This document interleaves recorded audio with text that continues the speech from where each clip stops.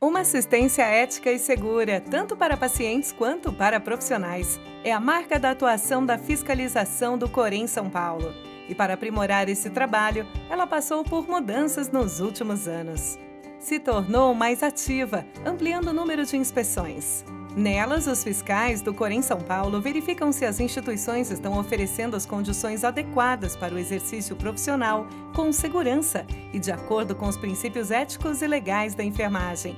As ações são promovidas com muita seriedade, sem aviso prévio às instituições. A fiscalização também apura se o dimensionamento de profissionais está adequado, lutando assim contra a sobrecarga de trabalho e para criar um ambiente favorável para uma assistência de excelência.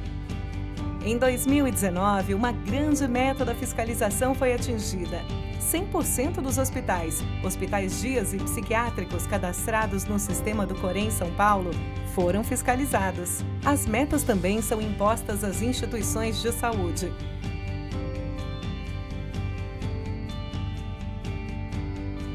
Quando detectado déficit de profissionais, a fiscalização propõe um prazo para adequação das equipes, de acordo com os cálculos de dimensionamento.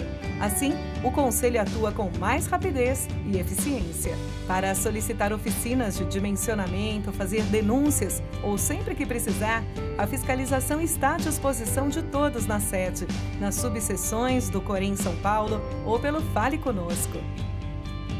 Conte com a fiscalização do Corém São Paulo como uma aliada no fortalecimento da ética profissional e da oferta de uma assistência segura para a enfermagem e sociedade.